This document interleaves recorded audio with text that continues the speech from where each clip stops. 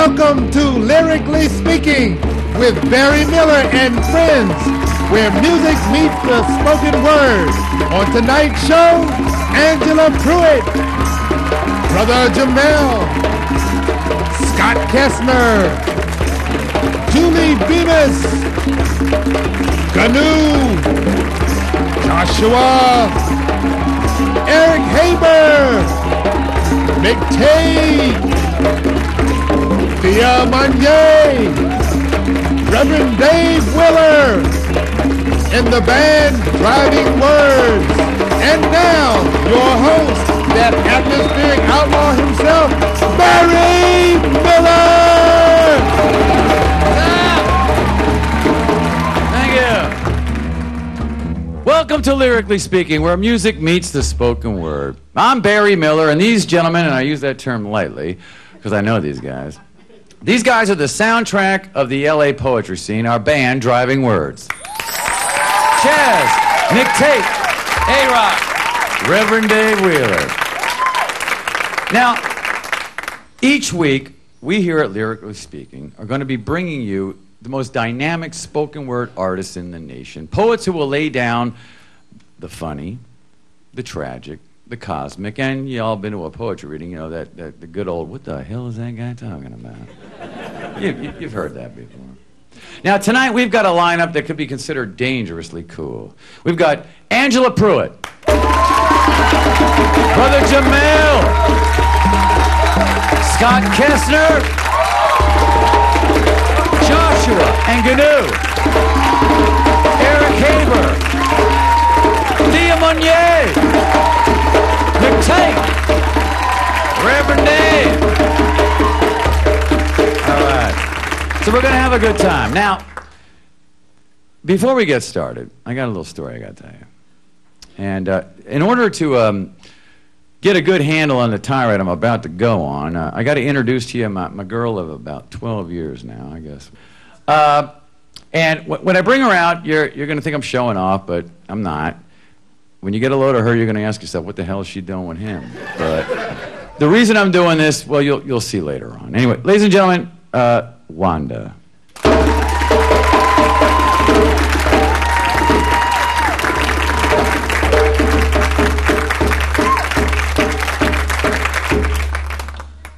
You can go.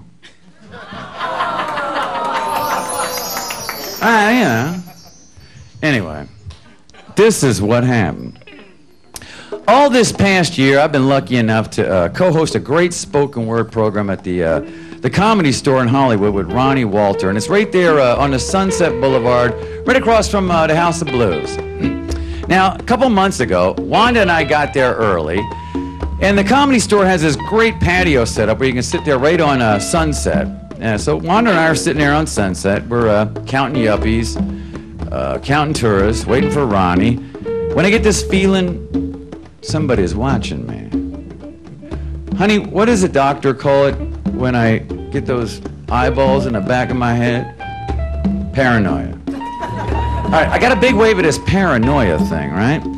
And I look down the, uh, I look down the street, down Sunset, and I see this, uh, this tourist-looking guy. Gotta be from someplace like Dumbfuck, Arkansas, or someplace. He's bopping along, beelining it straight for me. So I look back down at my sports page and try to be invisible, and I'm, a couple seconds later, I look up, and he's right on top of me. I'm thinking, what the hell are you looking at? Now, as God is my witness, don't you love when people say that?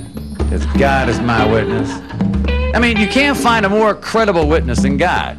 But we never get to interrogate God to find out if this guy's not full of shit. Wouldn't you love to do that one time? Mr. God, where were you on the evening of April 23rd, 2003? Let me see. Everywhere. Anyway, as God and Wanda as my witness, this guy looks me straight in the eye and he says, Howdy, Mr. Carlin. Then he looks at uh, Wanda and says, Howdy, Mrs. Carlin. Then he keeps bopping up uh, Sunset without breaking stride. Now, you might want to turn this monitor around here for the people at home, or rather, people here in the, in the set, because I'm going somewhere with this. I don't know where. Anyway, I get this a lot. I, I figured it out. I'm sitting here on Sunset in Hollywood, in front of the comedy store, and this fucking cracker thinks I'm George fucking Carlin. Like I said, I get this a lot, and if you look at the monitor, you'll see what I mean.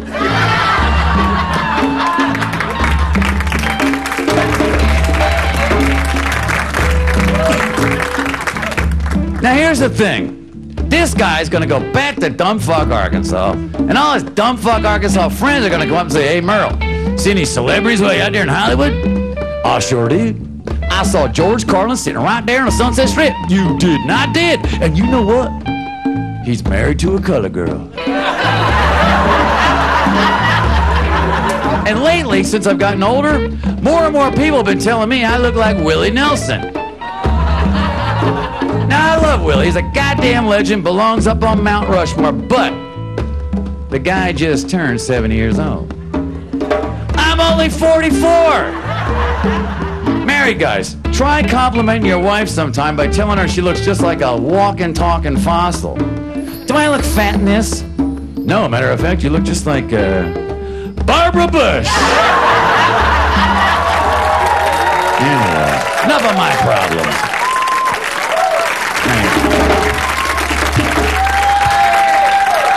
And by the way, I I love Barbara Bush too.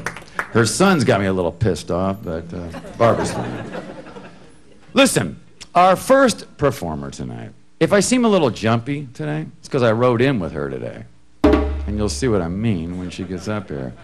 Uh, Angela Pruitt is a poet and comedian who's been off the scene for about two years now. Get ready to do some carpooling, LA style. So strap on your helmets and buckle up and get ready for a little bit of road rage. Now, I need a little help here. Props. Tim, help me out here, brother. Ladies and gentlemen, this is Tim.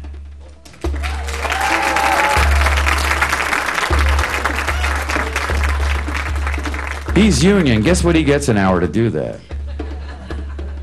Anyway, ladies and gentlemen, all the way from where she lives, Angela Pruitt.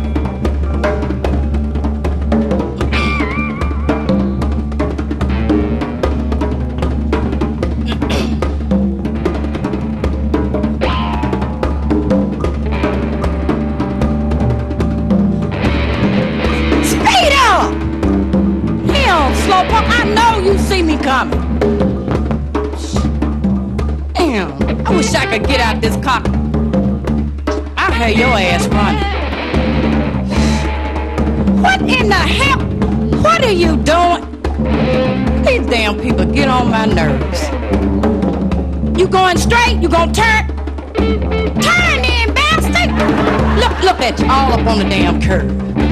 Damn. Shit. Oh, hell no. Oh, oh, I know you didn't just jump your ass over here in front of me. I should have hit your ass. I got insurance. Uh-huh, uh-huh. Do it again.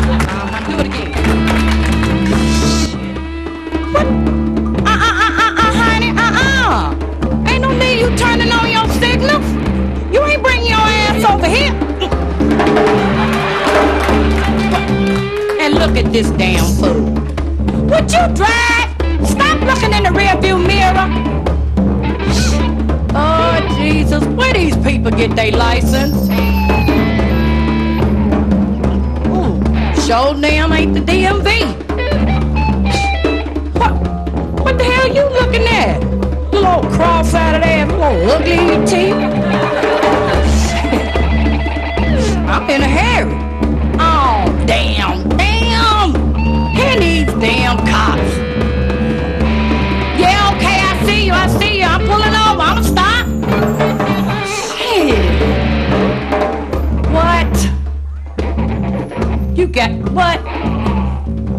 Somebody off. That ain't against no damn law.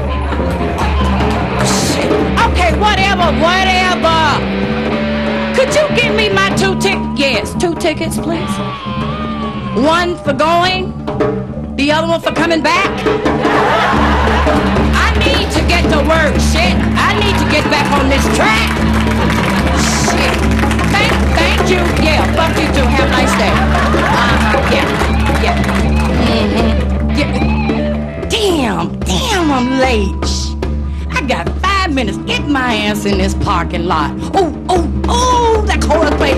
Get, goddamn bastard just stole my spot. Oh, uh-uh, uh, oh, shit. Damn, hell, ah, damn. Okay, I'm sorry, Lord, I'm sorry.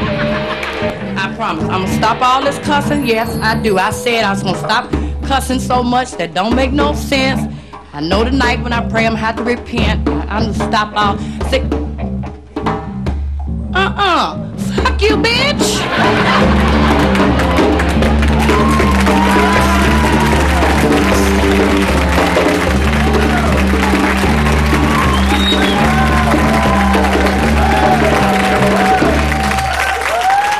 There goes Tim again. Hey, Angela Pruitt. She makes a, a great uh, case for public transportation, doesn't she? All right. Hey, I first laid ears on our next uh, artist uh, at a poetry slam in Venice uh, about a year ago. And when he finished, I said, I, I caught him outside. And I said, "Man, that thing was epic. What was it? What was the title of that thing again?" And he said, uh, "Reflections." And I said, "Rejections." Sorry, son. That, that title's taken as the uh, title of my autobiography, so you're gonna have to change. He said, "No, man, Reflections." I said, "Oh." Anyway, ladies and gentlemen, to give you some reflections here, Brother Jamel.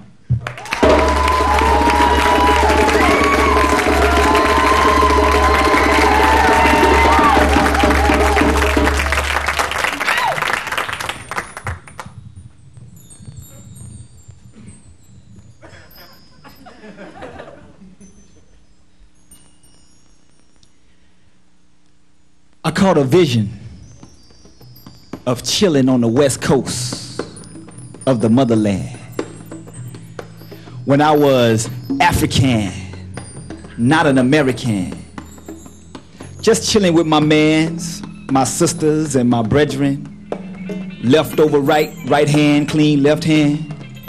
There was no capitalism attacking my wisdom and placing my people in prison. There was no electric chairs, pornography, or disrespecting our women. There were no relaxers in our hair and no straightening combs. No such things as parents that didn't care and no hating in our homes. It took a village to raise a child. Then we placed that child in the wild to get a sense of nature, self-development, and style. With beads on our neck and loincloth on our Johnson. Respect for all life is the way we kept our calm, son.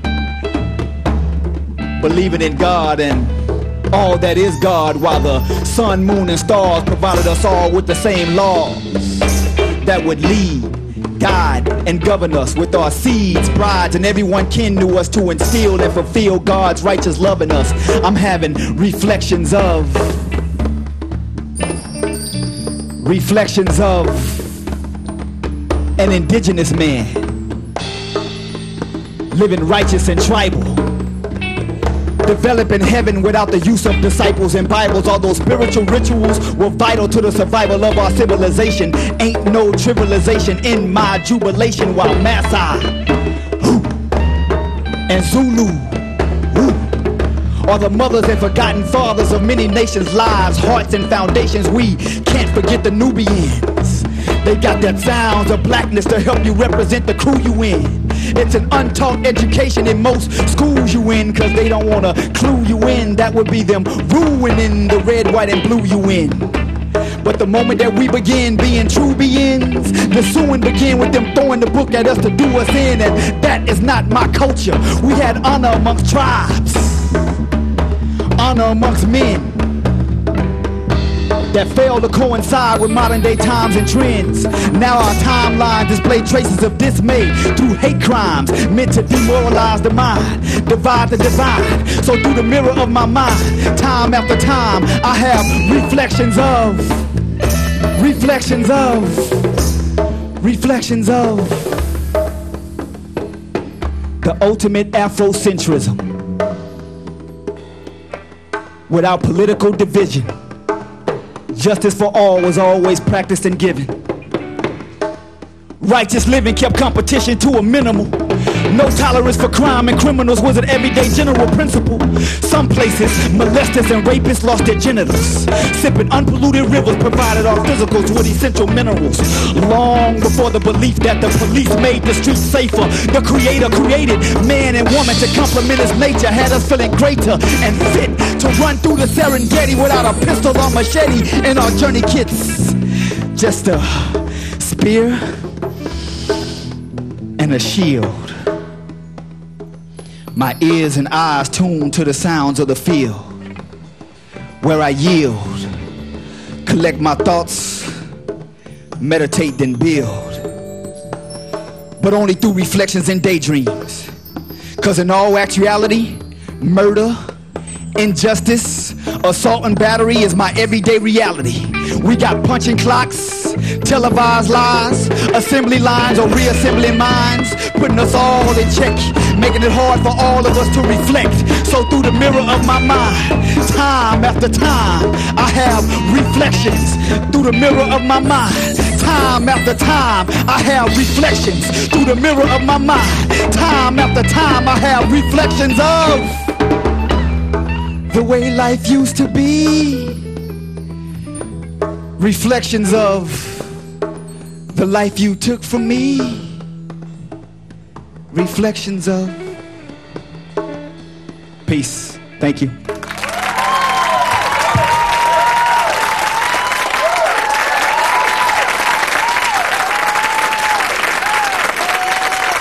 Brother Jamel. That's my boy. All right. You having a good time? All right. Well, enjoy it while you can, because we got a problem. I just got a note backstage. Uh, it's, it's in the form of a complaint. Uh, this is from.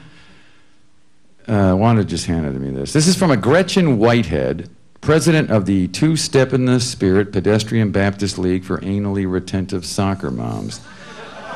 And it reads Mr. Miller, that's me, as president and spokesperson for the TSITSPBLARSM,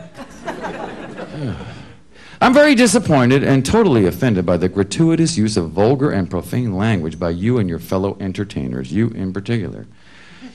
And your flippant freedom with the unholy F word is especially disturbing to say the least.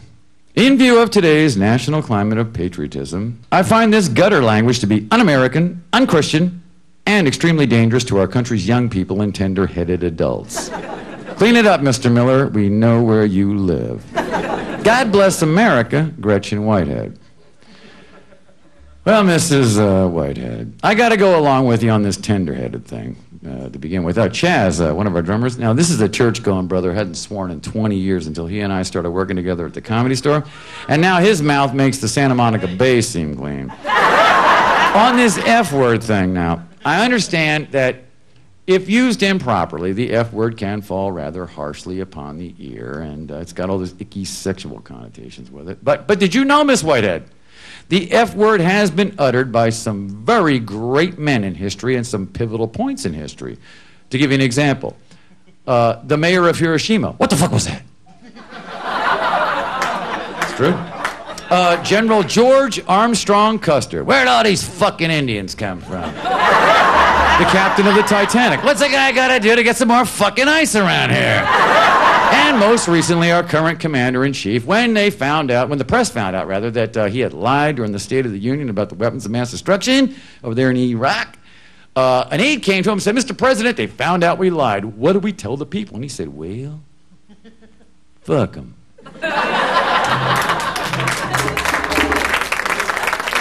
now, from dirty mouths to muddy water. Uh, Scott Kestner is a beat poet and good friend of mine and football buddy. It's, you know, I want to put, it's hard to find a poet who likes football. you know, hey man, well, how about those Raiders, huh?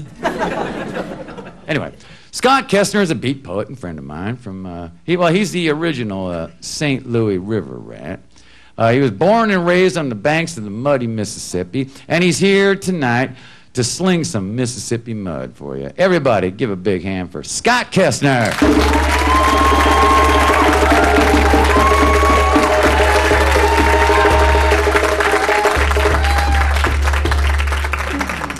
What's up, people? What's up?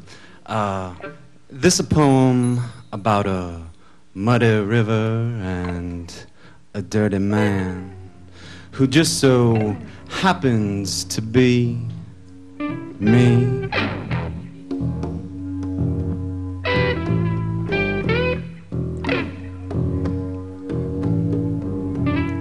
M I crooked letter, crooked letter, I crooked letter, crooked letter, I humpback, humpback. I was once and always will be a Saint Louis river rat.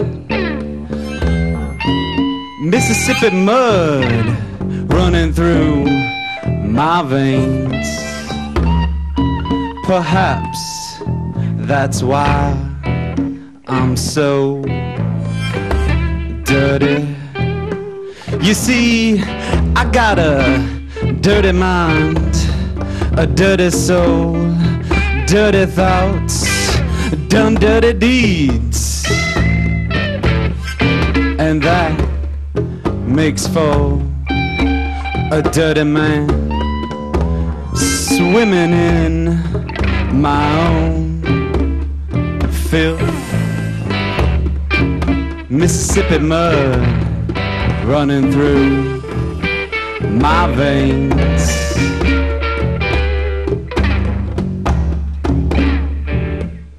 M I crooked letter, crooked letter.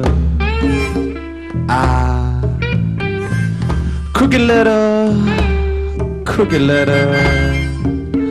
I humpback, humpback. Ah. peace.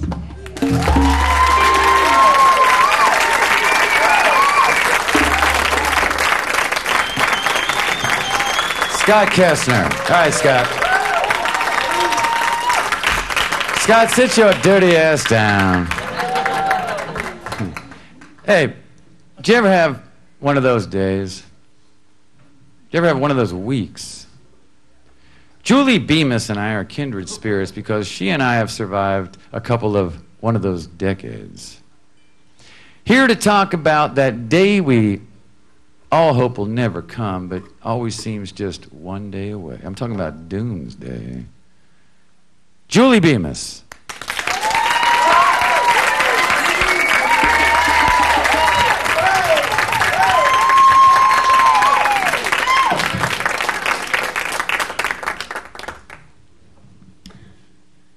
Said the word doomsday. A word particular to his vocabulary, not the first time he'd spoken it. He said, It's not unusual to be on this medication six months. You can take it till doomsday. Unusual word for psychiatrists to say to a patient who worries to the point she withers away, eaten by piranha anxiety in every way. Is he just of a peculiar, humored state of mind? Was he joking or was he blind to say such a heavy handed word? Doomsday. What? The apocalypse? The day on which one dies? The last judgment for us all? Till. He said, till doomsday. Now that's a different definition according to my Navy bound Oxford. Till doomsday. It means forever. I can take this medication forever. But why not say, instead of till doomsday, something more like indefinitely or the official definition, forever? Words do not carry the weighty pull of dread and angst. Words that are more definitive and less emotive and impulsive. doomsday. Well, I was surprised nonetheless at his word full of darkness and jest. Doomsday! Perhaps old Doc has another side unseen underneath, an existential bent with which I identify and find amusing. Old Doc and me, we existentialists, how Camus would be so proud of us. Till doomsday, forever it means. Now I know. Now I can silence my screams.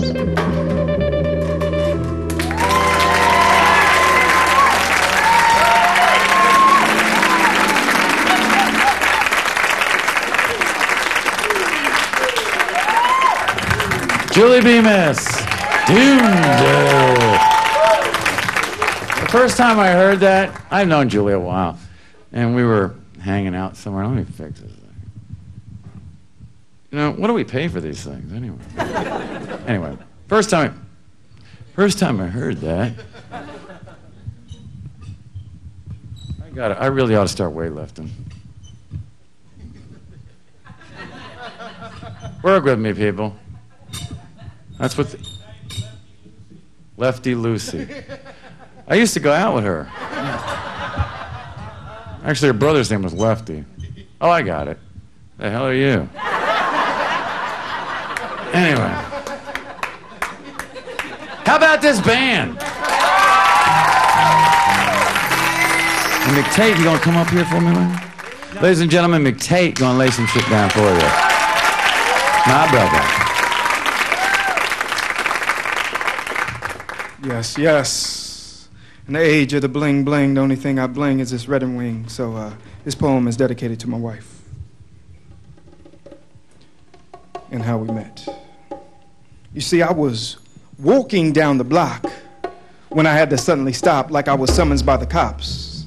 You see, she reminded me of a girl who I used to like a lot. My homeboy's older sister by the name of Lisa Lot. I'm saying, oh, girl was mad hot. Plus, she blew up the spot singing some Jill Scott.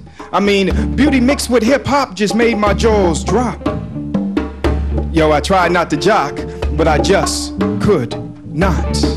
You see, she was better than bad, bro. I mean, you do the math, yo. She was eclectic and natural like Angie Stone's afro. I mean, I tried to keep my feelings locked down on the low. But from the time she said hello, my feelings started to flow. As she spoke poetical like Maya Angelou. I mean, she looked me in the eyes and my world moved slow. I was like, yo, she's mad incredible. As we walked and we talked for a good hour or so, I mean, she touched me on the hand and said, love, I gotta go. Now I know my man might be asking, did I get a number?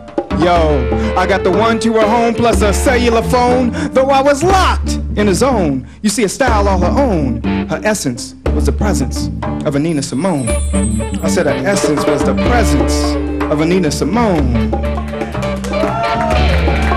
So needless to say, I couldn't wait to get home and hit her up on the phone. I was like, sweetheart, I'm saying, I like what you do. I mean, you've been all in my system like the flu.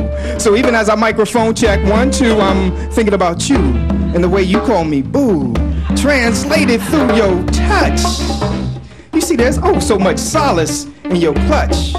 Plus, trust you enough to make a black man blush. You see, I'm not Bahamadia, but my dear, I confess.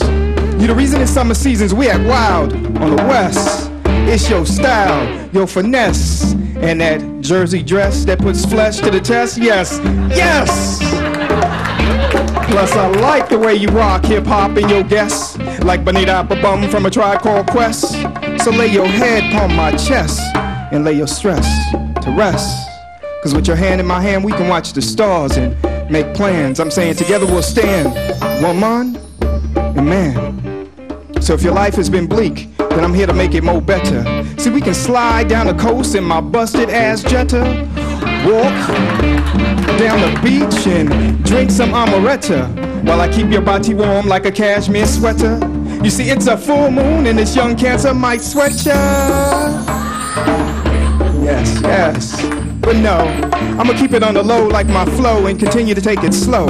Cause I got much respect for you, girl. This, you have to know. Yes, this, you have to know. Peace.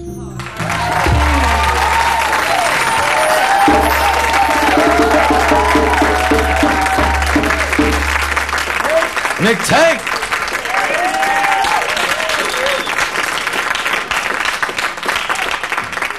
Now you notice that uh, we don't have a DJ. And you're thinking, well, everybody's got a DJ nowadays. What is this guy trying to make a statement or is he just cheap? It's a little bit of both, actually. I'm cheap, but I'm trying to make a statement too. See, me and the band, we come back, you know, we're basically 70s guys, and we come from a time when uh, human beings made music. You know, remember? You know, there was a band, you know?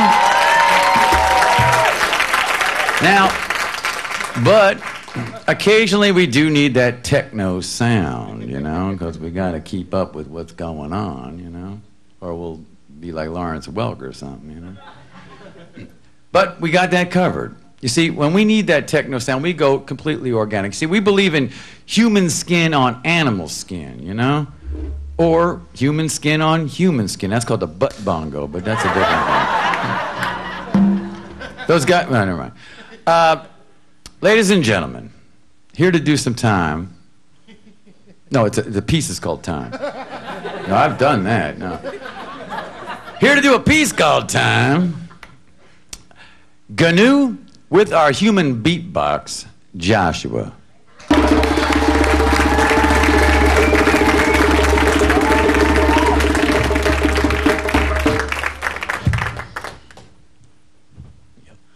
Welcome to the Roxwell Writing Workshop. My name is Roxwell Rock Mike's a lot, and I found in a talk with cons, profound thoughts, the palms of long walks. Down a dark path, being stalked by depressed man's past. Misery, cracking jokes, making him laugh. He's 16, half 32, half 8. And his eyes spit in your face when you say half faith. Cause all he know is drugs, prostitution, thugs, institution, no solution, popping off them slugs. Uncomfortable with hugs, refuse to believe in love. Cause the ones that he love can't care less what he does. And it makes him feel like dirt and the cracks in the concrete. Surrounded by chalk lines, drawn around a smile, killed at the age of four by the sight of a drive-by. He said it's selling crack, truly a crime, that's all I got to survive by. And if so, why not cigarettes and alcohol? Hypocrites write laws to control but not abide by. Why try? Nobody cares. He uttered brush in his hair, glanced in my eyes, then he looked away like he's scared. Kinda reminds me of dances with wolves. Kevin feeding the abused K9. Over time became his dog. But it's hard to build trust when all your life you've been dog. Standing on two, looked upon like he walking on four. And we all talk against what he's got to tell. He told me this crack he living in is all he knows. So why is it wrong to put the details in songs? Slang his life like crack to those bored with their own. If that's his only way to prevail out of this hellhole in the concrete. Busy feet walk over, spit on his neighborhood where kids can't help but curse. He said a ghetto baby's curse when it's born. And the punch hit me in my heart so hard it brought tears to my eyes. What in the world are we doing with our lives? If I'm only doing for self, I'm only living to die. I see my unborn's future in a man child before me. Possibility of being grandma bride. I can't put off the fight, it's on the crack in the night. I could be indoors, focused on rocking a mic. Hearing a war going on beneath the street lights. I gotta run outside, build a place for us hope to reside. Streets are watching, then coming and hide. All this bitten youth learn this in a welcome inside. Where we gotta love supreme. Working as a team to bring kids' careers out of their dreams. I work full time, but I'm starting my business in the meantime. And in between time, instead of killing time, giving time CPR, assemblies in motion, spitting my rhyme to get in their mind and find a place for us to build. Foundation for faith to the art they relate, so I use it to put food for thought on their plate. Well, on my plate, I'm trying to record my CD, finish my movie while pushing my books with clothing ideas, trying to perform everywhere, accelerating my career is truly harder than it looks. I need time, some time to read, some time to sleep, time to go back to school, and some time to just be.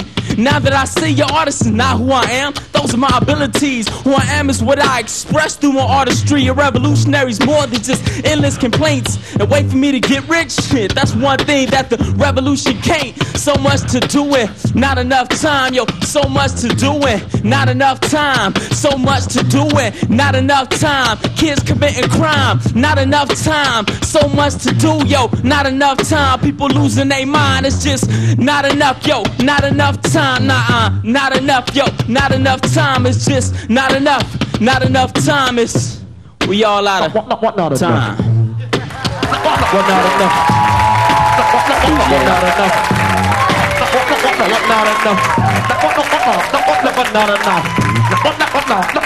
not enough?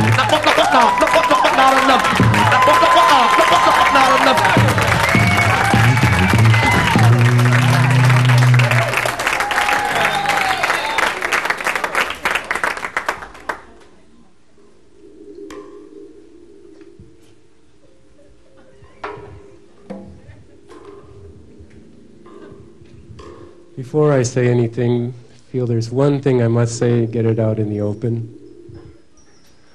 I don't do karate. I just wear the pants.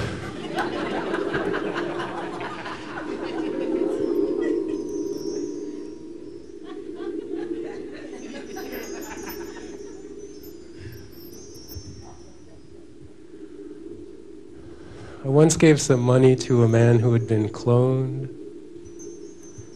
I said, don't spend it all in two places.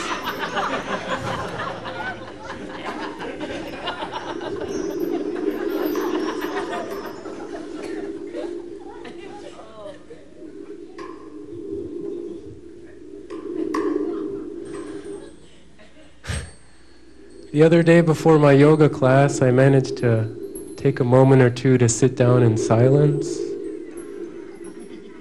I was premeditating.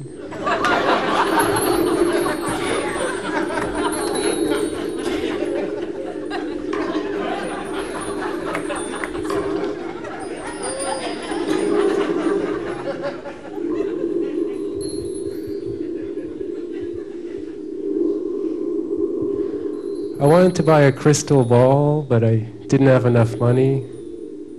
So I had to get a crystal oval instead.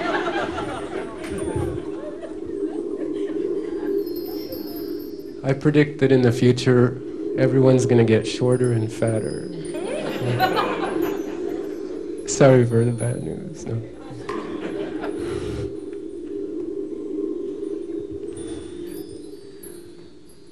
I'm a man of few words.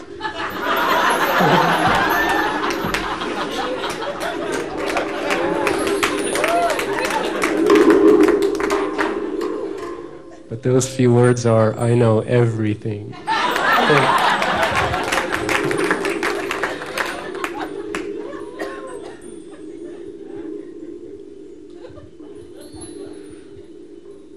I'm self unemployed.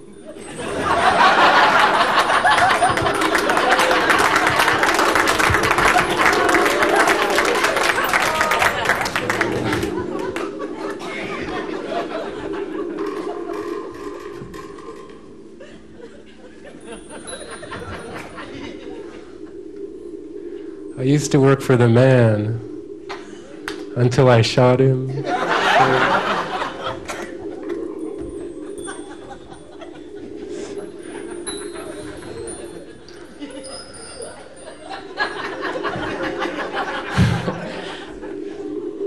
now I'm out of a job.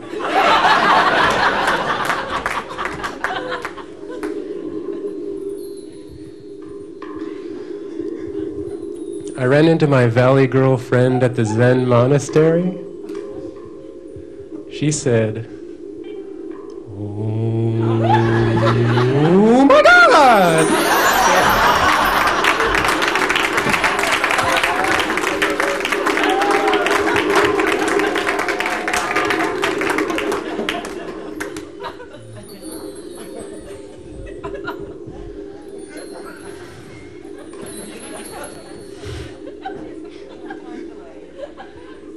friend of mine recently said to me, said, Eric, please tell me what's you're on and where I can get some.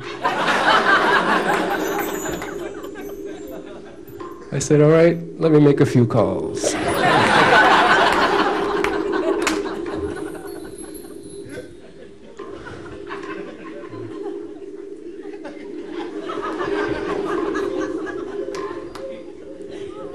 I've got high friends in places. Uh,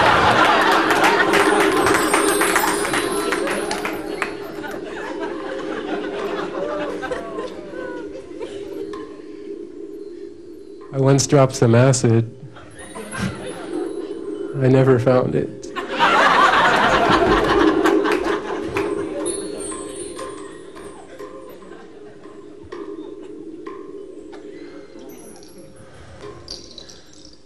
Where do jokes go after they go over your head?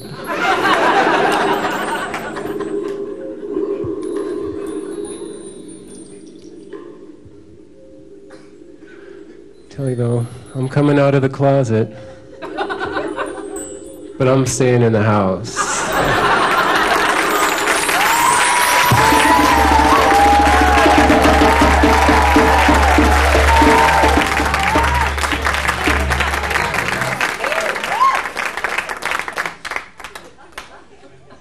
Why do you think they call it dope?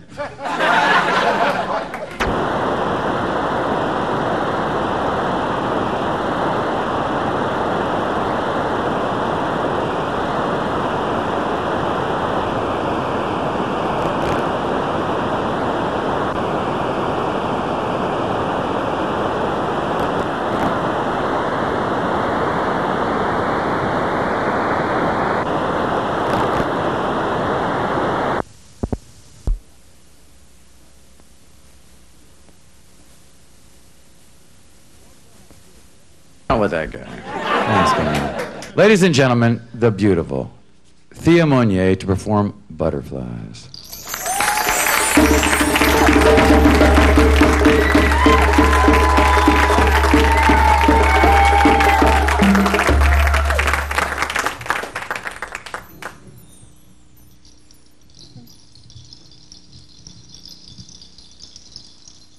Sometimes I wonder what drives a caterpillar to decide to create a cocoon so that it can hide and then emerge from it this beautiful, beautiful butterfly.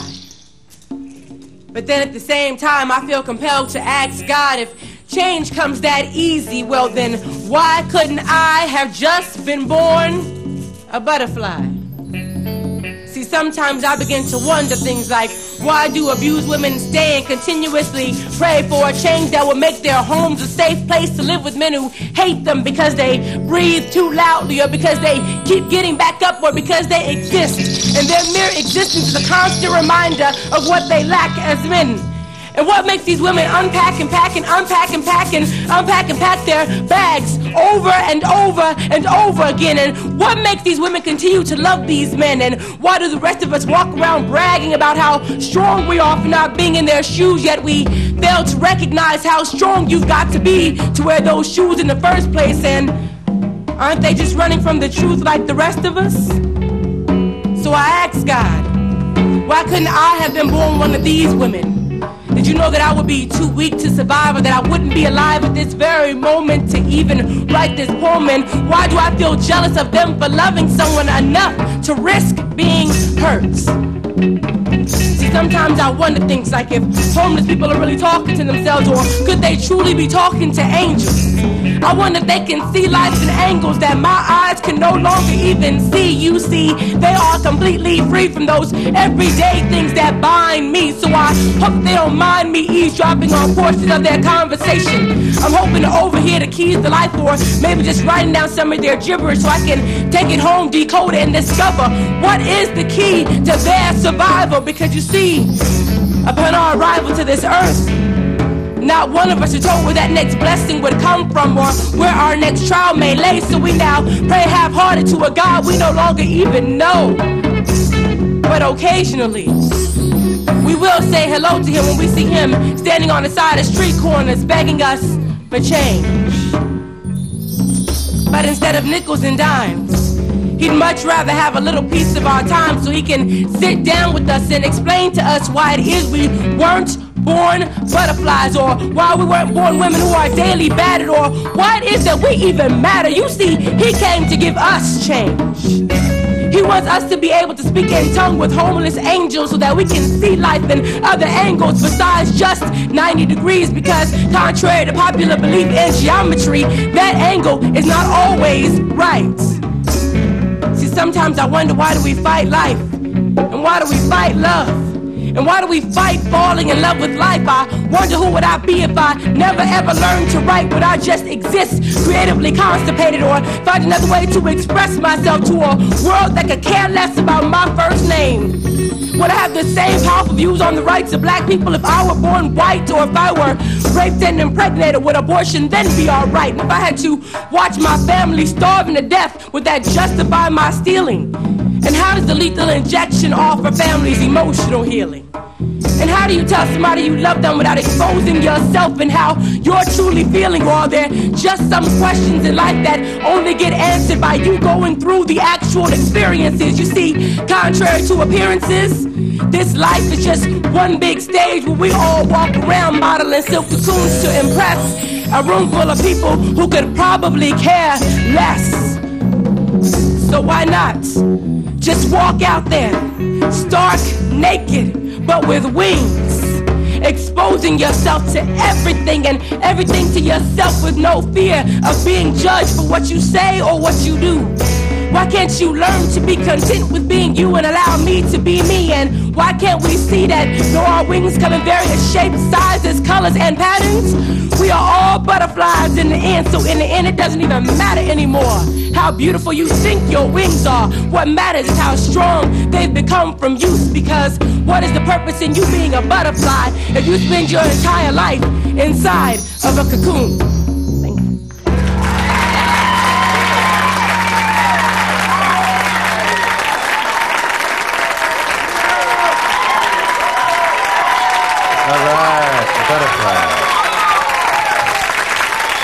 Is she beautiful?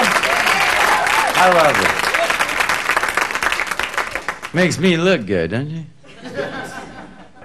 Now, I don't want y'all thinking we're a bunch of decadent yahoos, even though we are. We do have religion here at Lyrically Speaking. We've got a built in reverend, the Reverend Dave Wheeler over here.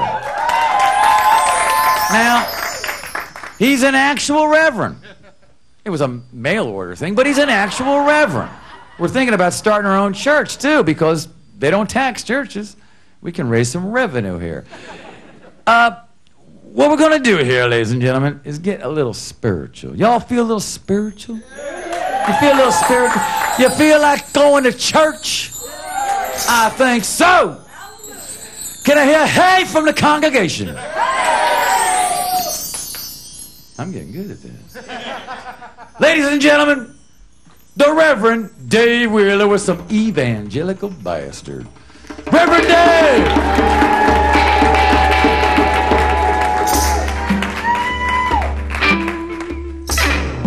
Friends? And you are my friends. I want to tell y'all a little story tonight about a, a hero of mine, a veritable American icon who's built stupid America out of about three billion bucks. Mr. Jimmy Swaggart.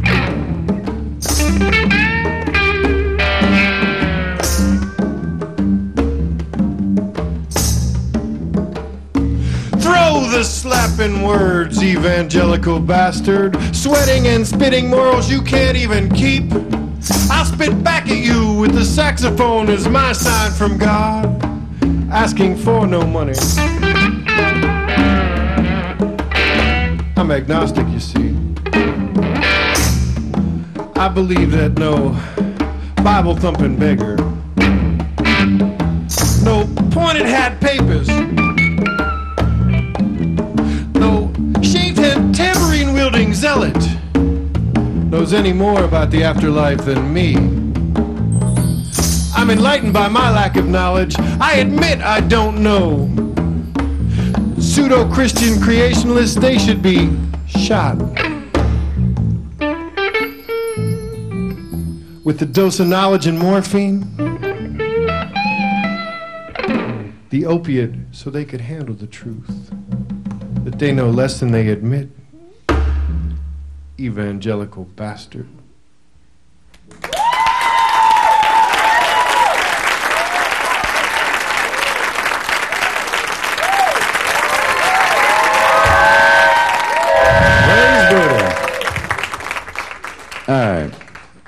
Me put this over here. I'm going to tell you about a, a weekend. Y'all met Wanda earlier. A weekend Wanda and I spent uh, naked in public. This is called the uh, Olive Dell Nudist Ranch.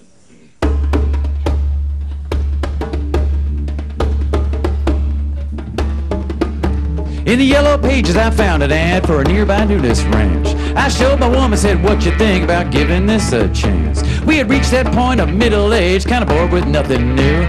Said, Call them on up and see just what they might require you.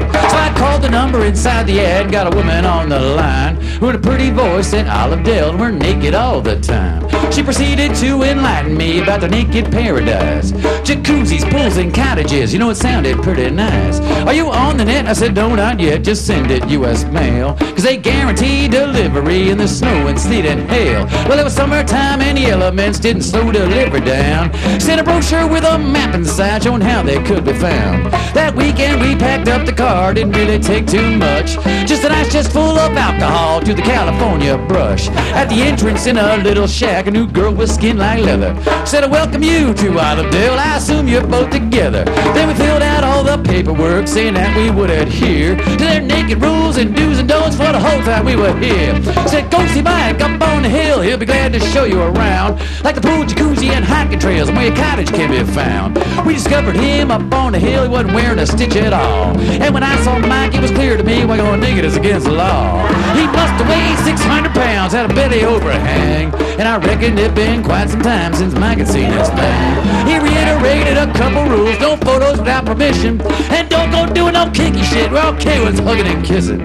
We found our accommodations, a little cottage in the trees. Then Mikey said, just one more thing, would you both get naked, please?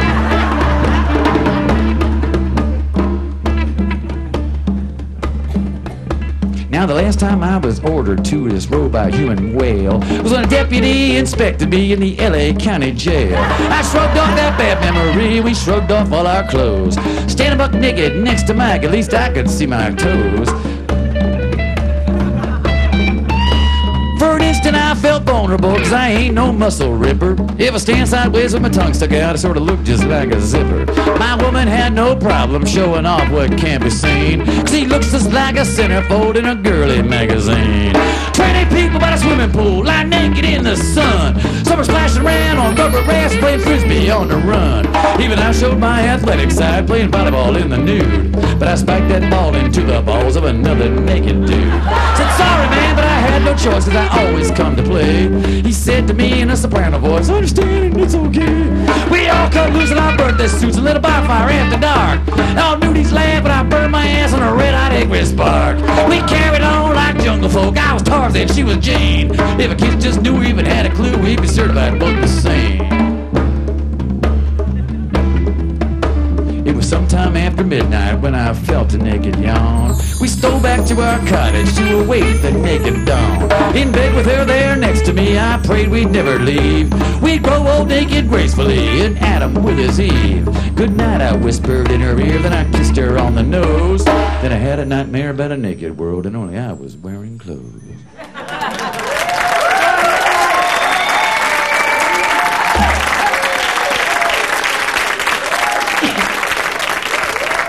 I wrote that when I was younger. Where's Joshua? Where's my boy? Come here, Josh. Ladies and gentlemen, Joshua. Human beatbox. You want to give me some of that Bo Diddley? Remember how that thing goes? A Little slower, please. I'm an old man.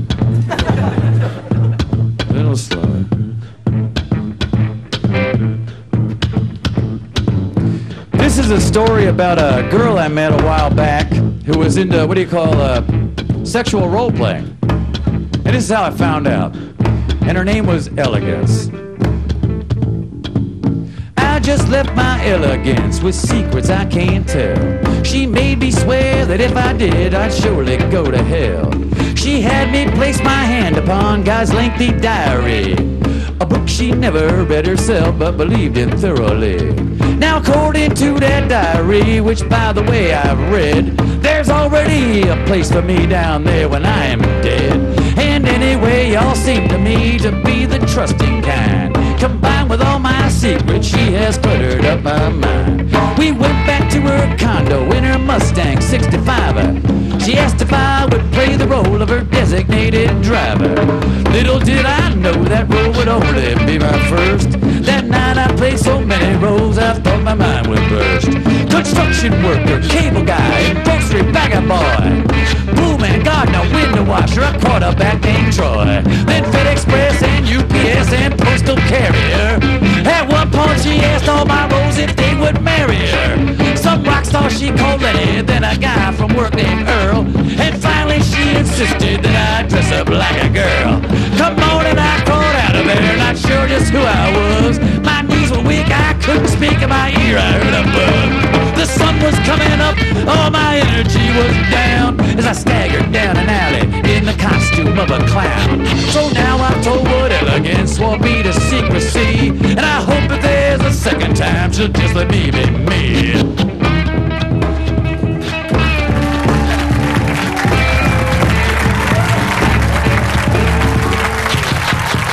Thank you, Josh. All right, we're gonna get out of here pretty quick. But what I want to do, catch my breath first. You guys play fast, you know that? Just listen to the waves sometime or something, will you? Excuse me.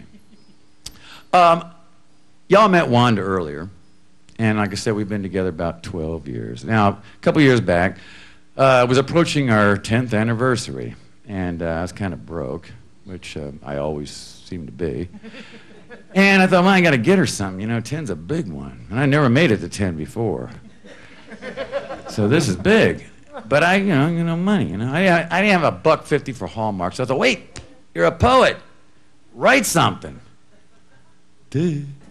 So I wrote something for her. And this is entitled, I Love You from Your Cheap Bastard. or something. Your passionate kiss your loving embrace. The curves of your body, the smile on your face. A vision of beauty as you walk through the door. Been almost 10 years now. Could I please have 10 more? The trials we endured, the changes they came.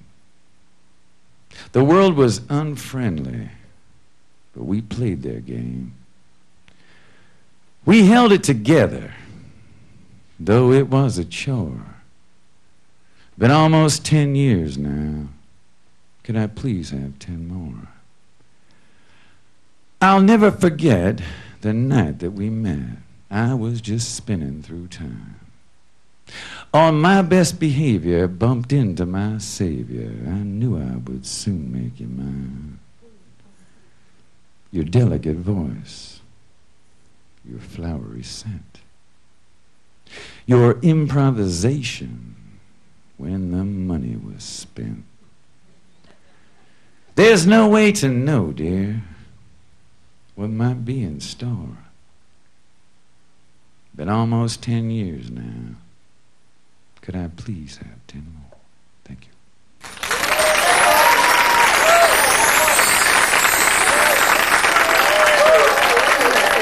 All that means is I won't be on the couch tonight, you know? she knows. He's like, yeah, yeah, whatever.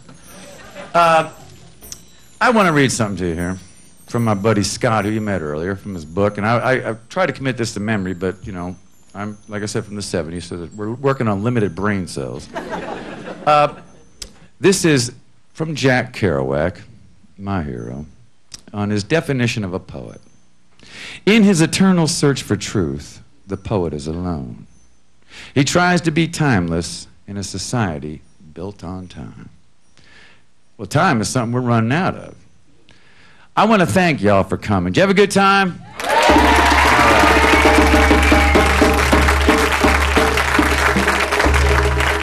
All right, thank thank the band. We got Chazz, Nick Tate, A-Roc, the Reverend Dude. Help me out here, guys. I want to bring everybody back here. Ladies and gentlemen, bring my cast up here. Angela Pruitt.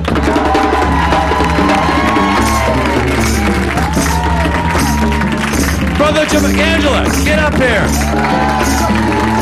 Brother Jamal. Scott Kessler. Julie Bemis. Gnu. Joshua, the human beatbox. Eric Haber. Dia Monnier.